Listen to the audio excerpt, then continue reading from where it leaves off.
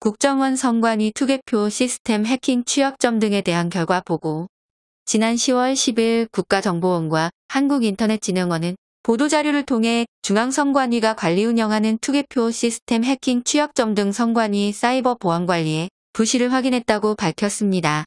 선관위 국정원 한국인터넷진흥원 3개 기관 합동으로 7월 17일에서 9월 22일간 합동 보안 점검을 실시하였습니다. 보안 점검 결과 선거인 명부 시스템 개표 시스템 사전 투표 시스템 등 관련 해킹 대응의 취약점을 다수 발견하였습니다. 선거관리위원회는 합동점검팀 권고 등을 바탕으로 총선 전 사이버 보안 역량을 긴급히 보완할 예정이라고 밝혔습니다.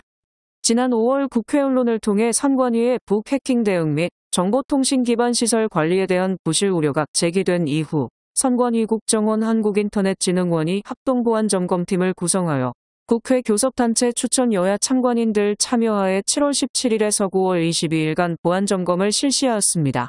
합동 보안점검은 크게 시스템 취약점 해킹 대응 실태 기반 시설 보안 관리 등 3개 분야로 구분하여 진행되었습니다. 2. 시스템 취약점 점검은 기술적인 모든 가능성을 대상으로 가상의 해커가 선관위 전산망 침투를 시도하는 방식으로 이루어졌으며 다음과 같은 보안 취약점들이 발견되었습니다.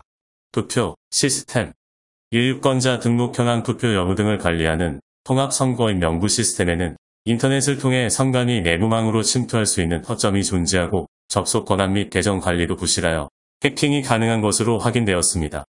이를 통해 사전 투표한 인원을 투표하지 않은 사람으로 표시하거나 사전 투표하지 않은 인원을 투표한 사람으로 표시할 수 있고 존재하지 않은 유령 유권자도 정상적인 유권자로 등록하는 등 선거인 명부 내용을 변경할 수 있었습니다.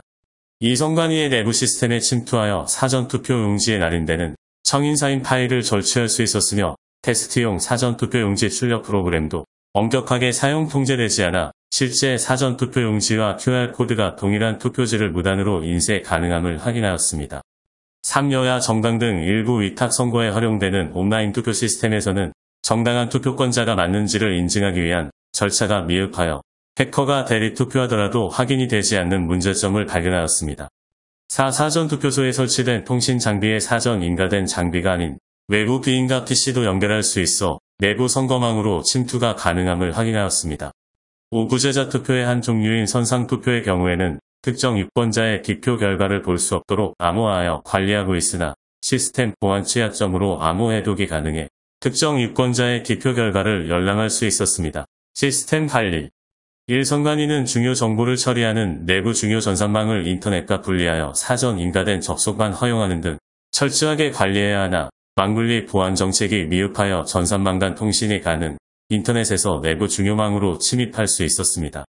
이 선관위는 주요 시스템 접속 시 사용하는 패스워드를 숫자 문자 특수 기호를 혼합하여 설정하는 등 안전하게 운영하여야 하나 단순한 패스워드를 사용하고 있어 이를 손쉽게 유추하여 시스템의 침투가 가능하였습니다. 삼 선관위는 시스템 접속 패스워드 및 개인정보 등 중요 정보를 암호화하여 관리해야 하나 내부 포털 접속 패스워드 역대 선거 시 등록한 후보자 명부, 재외 선거인 명부 등을 평문으로 저장하고 있어 내부 주요 서버 침투에 활용할 수 있었을 뿐만 아니라 개인정보 대량 유출 위험성도 확인하였습니다. 2. 이미 발생했던 해킹 사고 대응 부분에서도 후속 차단 보안, 강화 조치가 미흡했던 사례들이 드러났습니다. 일선관위가 최근 2년간 국정원에서 통보한 북한발 해킹 사고에 대해 사전 인지하지 못하고 있었으며 적절한 대응 조치도 하지 않았음을 확인하였습니다.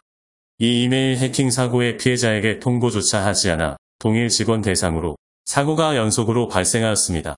3. 2021년 4월경 선관위 인터넷 PC가 북한 팀수키 조직의 악성 코드에 감염되어 상용 메일함에 저장된 대외비 문건 등 업무 자료와 인터넷 PC에 저장 자료가 유출된 사실도 확인되었습니다. 3. 선관위가 운영 중인 주요 정보통신 기반 시설 보안 관리 실태에 대해서도 엄정한 개량 평가를 실시하였습니다.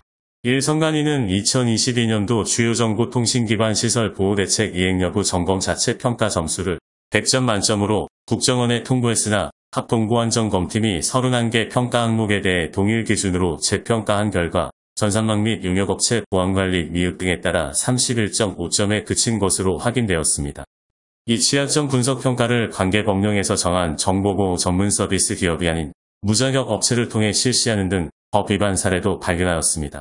합동보안점검팀은 국제 해킹 조직들이 통상적으로 사용하는 해킹 수법을 통해 선관위 시스템에 침투할 수 있었는 바 북한 등 외부 세력이 의도할 경우 어느 때라도 공격이 가능한 상황이었다고 설명하였습니다. 이번 점검은 국가 선거 시스템 전반에 대한 보안 취약점들을 선제 도출하는 계기가 되었으며 합동점검팀은 선관위의 선거 시스템 보안 관리를 국가 사이버 위협 대응 체계와 연동시켜 해킹 대응 역량을 강화하는 방안을 제의하였습니다. 또한 선관위와 함께 해킹에 악용 가능한 망간 접점, 사용자 인증 절차 우회, 유추 가능한 패스워드 등을 즉시 보완하였으며 최대한 빠른 시일 내에 이번 보안 점검에서 적출된 다양한 문제점을 조치할 예정이라고 밝혔습니다. 여기까지가 대한민국 국가정보원과 한국인터넷진흥원이 보도자료를 통해 중앙선관위가 관리 운영하는 투개표 시스템 해킹 취약점 등에 대한 합동보안 점검 결과 보고서 내용 전문입니다. 감사합니다. 지역에서 세계로 안동데일리